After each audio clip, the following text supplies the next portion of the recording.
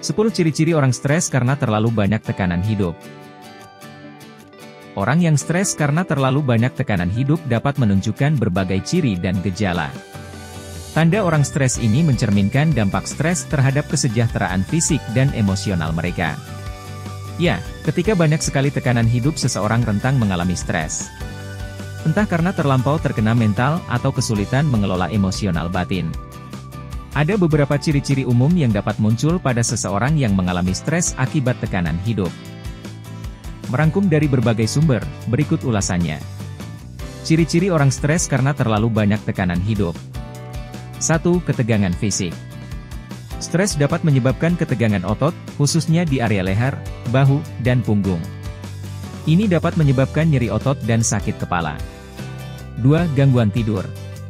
Kesulitan tidur, seperti sulit tidur, insomnia, sering terbangun di malam hari, atau tidur yang tidak nyenyak, bisa termasuk sederet gejala stres. Hati-hati, seseorang yang punya banyak tekanan hidup rentan mengalami stres. 3. Perubahan nafsu makan. Beberapa orang yang stres mungkin mengalami peningkatan nafsu makan dan berat badan.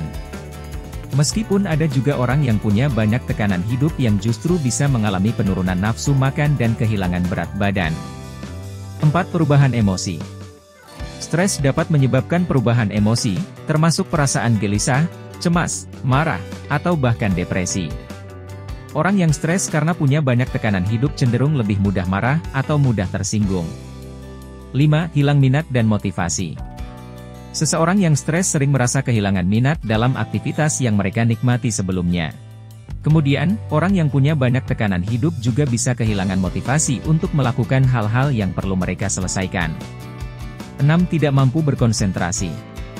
Stres dapat mengganggu kemampuan seseorang untuk berkonsentrasi, membuat mereka merasa bingung atau lupa.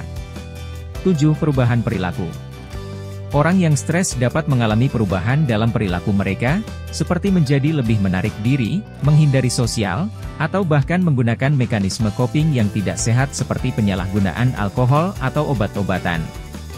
8. Gangguan fisik Stres dapat menyebabkan gangguan fisik seperti gangguan pencernaan, sakit perut, mak, atau gejala lainnya. Pemicunya bisa datang karena masalah atau tekanan hidup yang terlalu banyak. 9. Tekanan darah tinggi atau masalah kesehatan lain. Stres yang berkepanjangan dapat berkontribusi pada masalah kesehatan fisik, seperti tekanan darah tinggi, penyakit jantung, atau gangguan autoimun. 10. Cenderung menghindari masalah. Beberapa orang yang stres karena punya banyak tekanan hidup mungkin cenderung menghindari masalah atau tugas yang menimbulkan stres tambahan. Jika kamu mengidentifikasi ciri-ciri stres tersebut pada diri sendiri atau seseorang yang kamu kenal, sangat penting untuk mengatasi stres dengan baik. Dukungan dari teman, keluarga, atau seorang profesional kesehatan mental dapat membantu. Teknik-teknik relaksasi, olahraga, meditasi, dan manajemen waktu yang baik juga dapat membantu mengurangi stres dan meningkatkan kesejahteraan mental. Jika stres berlanjut dan memengaruhi kualitas hidup secara signifikan, pertimbangkan untuk berkonsultasi dengan seorang profesional kesehatan mental untuk saran dan dukungan lebih lanjut.